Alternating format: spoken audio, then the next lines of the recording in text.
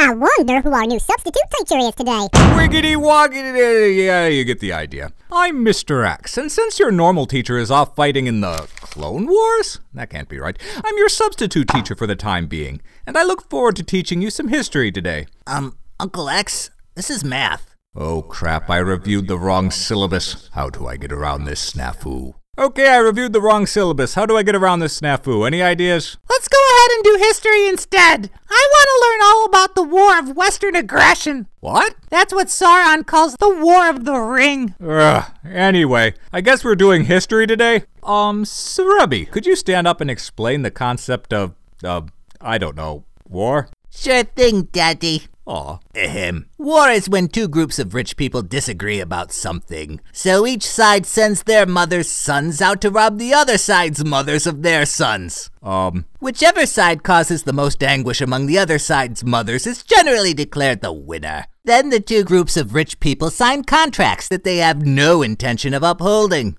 And then they establish national holidays where they glorify the anguish they've caused the other side's mothers. Oh, and depending on how equitable each group of rich people is, mothers' daughters might be involved in the fighting too. The end. okay, let's immediately and mercifully get back onto math. Oh, and sometimes the losers get in trouble for war crimes, but the winners rarely get in trouble for their war crimes. Like I said, on to math. Um, you, Varan.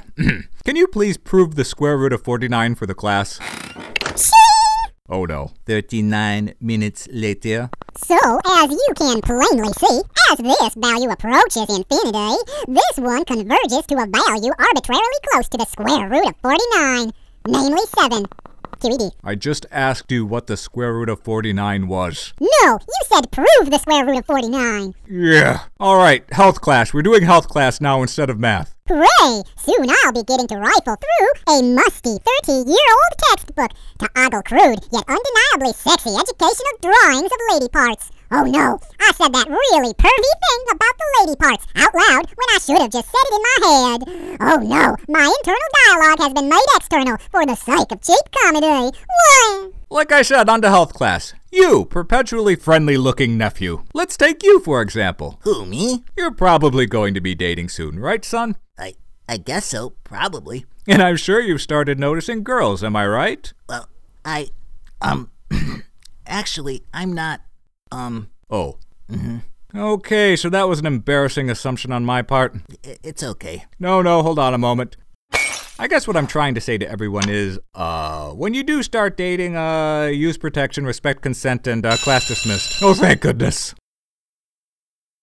How did I do, sweetie? Well, Daddy, I see it as a matter of comparison. Mr. Gabara scratched lotto hmm. tickets all day when he was subbing. Ms. Daigoro's mother tried to turn us into assassins, and Mr. Kotter kept calling us sweat hogs. So yeah, you're at least doing better than the competition, Daddy. Aw,